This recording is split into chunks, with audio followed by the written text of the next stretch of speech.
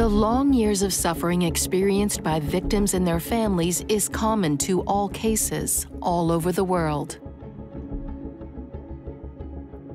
In August 2004, American citizen Mr. David Sneddon, who was studying in Beijing at the time, disappeared, presumably while traveling in Yunnan province.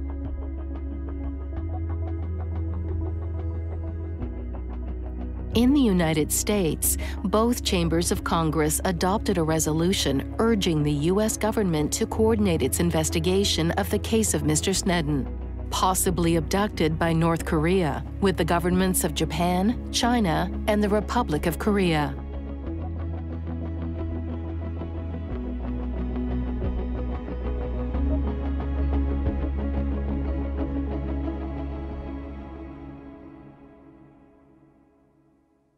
一言日本語で話させていただきたいと思います。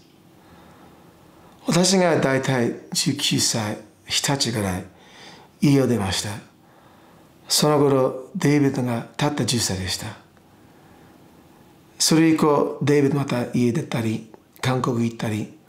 で24歳ぐらい拉致されそれ以降私とデイビッドがほとんどの付き合いがなかったです。私が大人としてのデイビッドの経験がほとんどありません。それが私にとって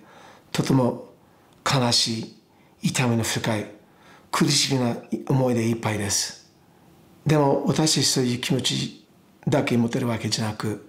たくさんの日本人の家族の皆様それに北朝鮮の家族の皆様全く同じの気持ち持っている人が多いと考えられています。北朝鮮は一刻も早く拉致被害者を解放してください先進国になっているのであればそれが一切一刻も早くぜひとも返すべきではないかと考えられています This is a statement written by my parents on behalf of the whole Snedden family. It's titled Thoughts on David, His and Our Charity. David began his service to the people of North Korea involuntarily sometime in the month August 2004 while traveling in Yunnan Province, PRC, to see the ethnic minority people and the beauty of that part of China. In his last email to our family in Lijiang, PRC, he expressed his joy at the prospect of seeing the edge of the Himalayas and their people. While serving as a missionary for the Church of Jesus Christ of Latter day Saints in Seoul, South Korea, he learned to love the people, their language, and their culture by service to them. He went to Beijing, China in the summer of 2004 to learn Mandarin and in the process continue in his quest and love for the cultures of Asia. While shopping for food in a grocery store in Beijing, he met a Korean woman who was concerned that her children were not learning Korean being raised in China. David, motivated by kindness, began teaching them Korean. David was able to befriend the people in Asia and at home because of his concern and love for them was unfeigned. David gets along well with people because when working together with them, he shows gentleness and meekness. As an example, David worked with his father building the family's home the summer before going to China. Our family was amazed that David succeeded at the task because our father is not a meek man at all. However, David is not perfect. When in an ice rink, clad in a hockey uniform and helmet, with skates and a stick, meek becomes a four letter word for David.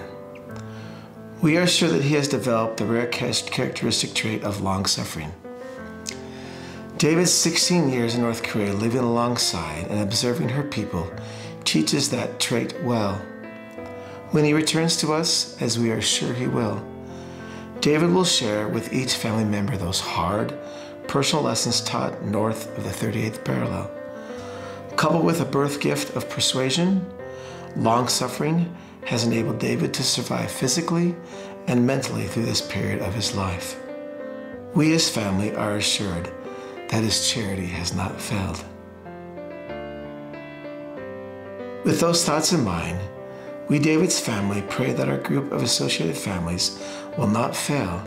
in our ongoing efforts to return home all those men, women, and children abducted by the political leaders of the Democratic People's Republic of Korea, the Sneddons. According to the report of the Commission of Inquiry on Human Rights in the DPRK, Ms. Anocha Panchoi, a Thai woman, was abducted on July 2, 1978, from Macau to North Korea. The Commission found that there is sufficient evidence to prove that Ms. Anocha was abducted and taken to North Korea. As a key factor in this conclusion, the Commission referred to the testimony of Mr. Charles Jenkins, the husband of the returned abductee, Ms. Soga Hitomi, and the photograph of his family in which Ms. Panchoi was also depicted.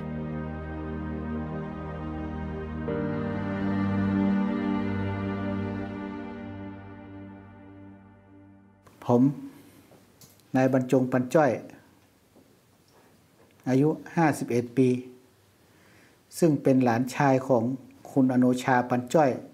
ผู้หญิงไทยที่ถูกลักพาตัวโดยเกาหลีเหนือ การให้สัมภาษณ์ในวันนี้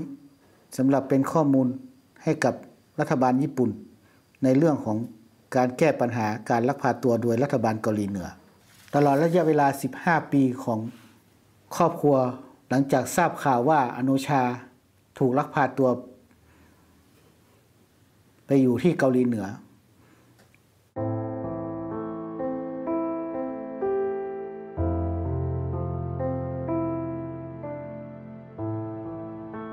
จนถึงวันนี้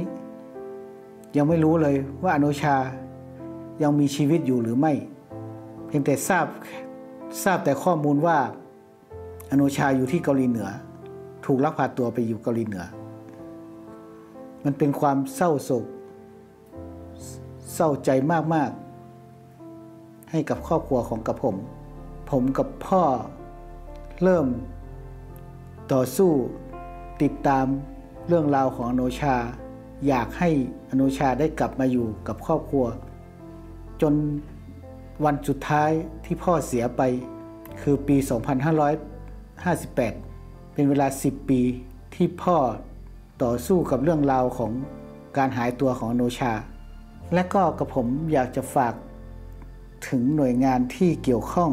กับประเด็นการติดตาม ผู้ถูกลักพาตัวโดยเกาหลีเหนือ ให้ช่วยหาคำตอบให้กับครอบครัวของผมด้วย เพราะว่าผมกับพ่อพี่ชายของโนชา พยายามติดตาม ติดต่อ เรียกร้องขอความช่วยเหลือ ไปกับหน่วยงานต่างๆ ทั้งคณะกรรมการสิทธิมนุษยชน แห่งชาติ แล้วก็รัฐบาลไทยบังเอิญได้รับความอนุเคราะห์กับจากรัฐบาล ญี่ปุ่น และก็ได้รับความช่วยเหลือกับจาก NGO ทางเกาหลีใต้ และ NGO ทางต่างประเทศ ให้ให้ความช่วยเหลือในด้านการหาข้อมูล แล้วก็ช่วยเหลือในด้านกำลังใจกับครอบครัวญาติญาติทุกคนก็แก่ตัวลงทุกที ต่างก็เฝ้ารอว่าอนุชาเมื่อไหร่จะกลับมา จนถึงวันนี้ ผมก็ได้แต่ความหวัง